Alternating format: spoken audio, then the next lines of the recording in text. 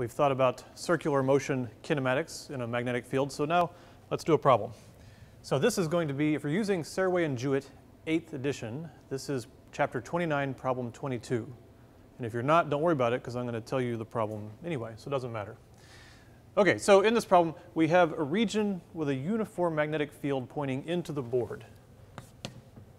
So this is, remember how we always draw a field into the board like this.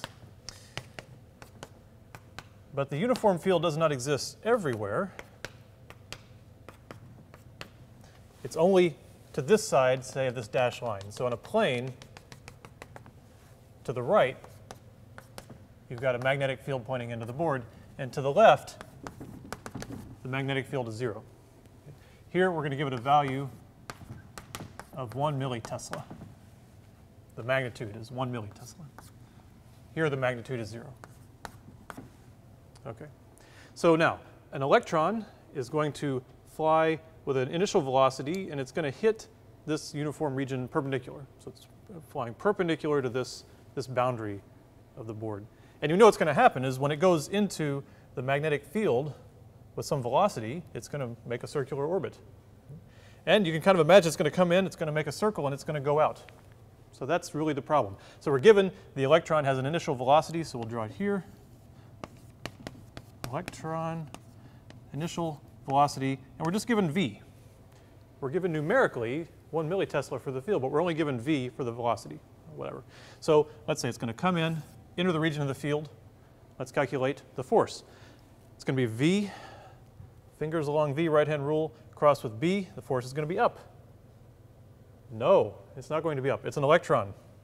The charge of the electron is minus e. So when you put that in, the force is going to be down. So I drew this on the wrong side on purpose, of course. So I'm going to draw this up at the top. Because since the force is down, here's your electron, has an initial velocity v. It's going to go in here.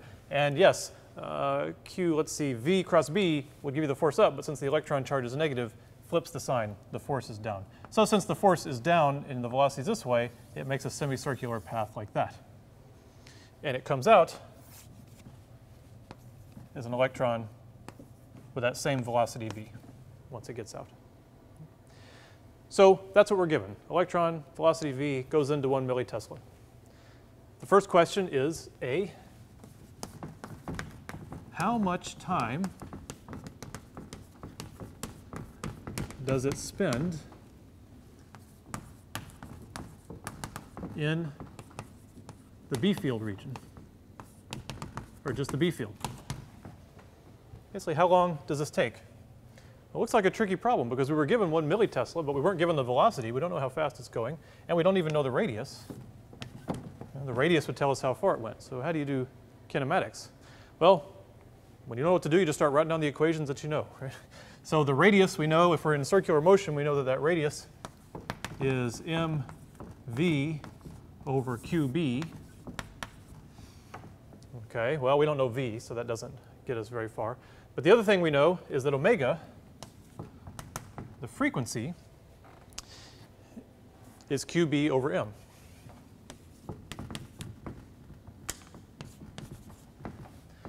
And this is the one that's going to help us, because remember, for the frequency around which the particle goes around a circle when it's going in just a circular motion, all it depends on is the magnitude of the magnetic field and the properties of the particle. The particle's mass, which we know because it's an electron, and the particle's charge, which we know because it's an electron. This is actually the one that we know. And omega is really what we want. Remember, omega is the angular frequency. How fast is it, how, how often does it go around? That's really the question. How long does it take to make the semicircle?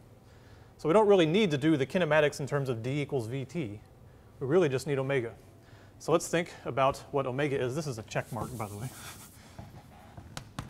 There you go. It's less confusing. Let's think about omega. what was omega? Omega is the grown-up physicist way to think about frequency. Right? Omega is in radians per second. Now, we're used to thinking of frequency possibly in terms of hertz in terms of f, cycles per second. So remember, this is how you tell them apart. F is in cycles per second, or hertz. But remember, a cycle, when you're going in a circle, is 2 pi radians, right? Cycles per second, it's cycles per second, sort of. So if we're going this many cycles per second and we're talking about circular motion, if you want to get it to radians, you just say, well, how many radians are in a circle? Well, 2 pi. Right? That's how you get from omega from f, what you're used to thinking about. Okay.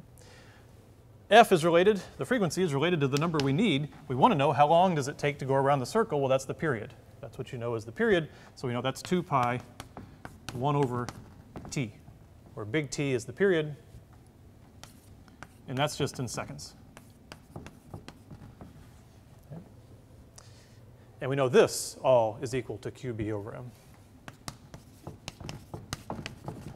So if we wanted to solve it for just the period, then you would just turn this whole thing around, and what would it be? T would be, this would come over here, it would be 2 pi m over qb.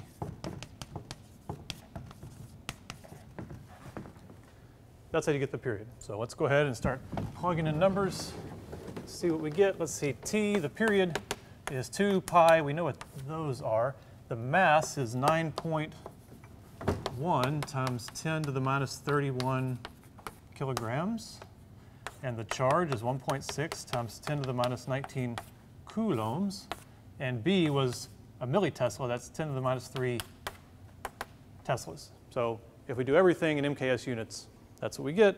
And therefore, the answer is going to come out in seconds, but I'm going to put nanoseconds. It comes out to 36 nanoseconds. That's not the answer. Right? That's the time it takes to go all the way around the circle. But our path is only halfway around the circle, because once we go halfway around, we come out of the field. Okay?